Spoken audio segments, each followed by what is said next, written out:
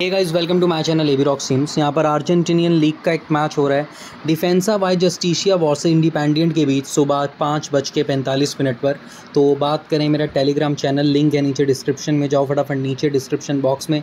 Link पर करो click and join हो जाओ। और गाइस हम इस वीडियो में किसी भी तरह की चीज़ को प्रोत्साहित नहीं कर रहे। वीडियो बहुत ही ज़्यादा सेफ़ और नॉलेजेबल है सो बढ़ते हैं आगे। तो दोस्तों, मैं बात करूँ इस मैच की तो देखो ना अर्जेंटीनियन लीग का मैच है। तो ऐसा है कि मैच बहुत रिस्की है।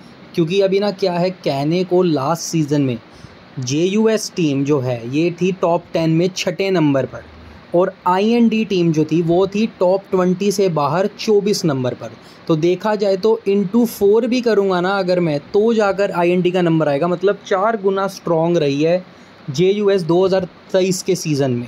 तो मेरे हिसाब से जेयूएस को ही फेवर करो, लेकिन इस साल का गोल रेशियो अभी थोड़ा कम है और जो बीच में मैचेस हुए थे अर्जेंटीनियन कोपा लीग एक होती है ना इनकी कॉनबेल लीग करके कोई, उसके अंदर जस्टिसिया ने गोल नहीं किए तो देखते हैं क्या करना है इस मैच में तो आगे चलते हैं। तो स्ट्राइकिंग की बात करूँ स्ट्राइकिंग सेक्शन में आप एवलस को तो लो, देखो जो मर्ज़ी हो जाए, आपने आई को फेवर करना है, नहीं करना, वो बात बहुत दूर की है। मेन बात आती है कि आपने एवलेस को लेना बिकॉज़ एवलेस आईएनडी का मोस्ट गोल करने वाला एक प्लेयर है और कर भी रहा है। उसके बाद एन एमोनल फर्नांडिस की बात करें तो मैं तो इसकी वेट कर रहा हूँ। लिटरली मैं चाहता हूँ कि ये खेले। ये नहीं खेल रहा, तभी दिक्कत है, क्योंकि ब्लैंडी हो गया एल हरेरा हो गया, वो कब तक मैनेज करेंगे? दो गेम्स तक, तीन गेम्स तक। कल को अगर ये जल्द में, जल्दी में नहीं आया तो बाद में प्रेशर बढ़ जाएगा। और अगर जिस जस्टिसिया टीम अंडर प्रेशर हुई सीज़न में तो आप भूल जाओ टॉप टेन भूल जाओ टॉप फाइव तो दूर की बात है। इसलिए यहाँ पर फर्नांडिस का आना ज़रूरी है। और एफ़ एच ए वारिया के मतलब इसके रिकॉर्ड मेरे को एवरेज लगते हैं। वैसे अच्छा है फैक्यूंडो अच्छा खेल लेता है मैक्सिमम मिनट्स खेलता है, ऐसी बात नहीं है। हरेरा से बैटर है तो अभी मैं इसको सेव करूँगा।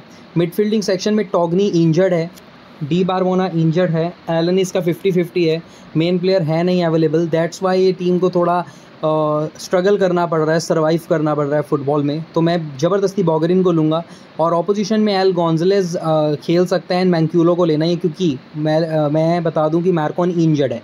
मैरकॉन आज के गेम प्ले में आपको नहीं मिलने वाला।